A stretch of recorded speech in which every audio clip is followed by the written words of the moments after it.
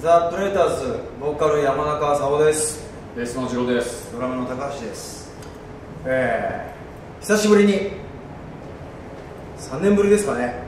はい、えー、リリースとツアーが決定しました、うん、プレーターズとしては、はい、5作目。8月26日にニューアルバム「ロックンロールパンデミック」というタイトルで、えーまあ、リリースになりますけども今回はどうですか高橋君？今回はあの言うべきことがあるんじゃないですかそうですね。はい。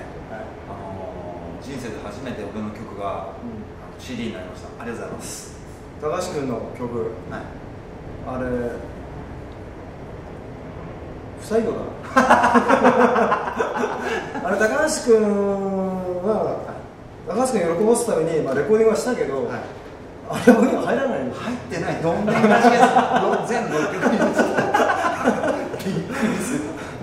まあまあまあ冗談はさておき今回は、えー、ジロ君5曲、はい、ありがとうございます。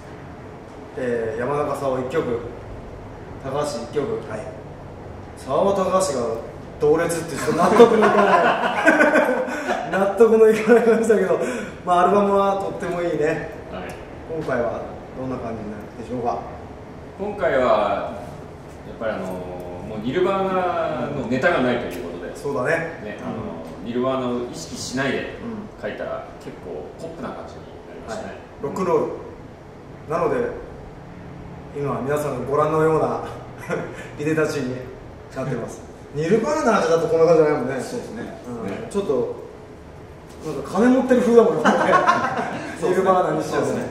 うん。ニルバーナー金持ってるわ。えー、9月23日から全国ツアーを開催します。全8公演。はい。うん。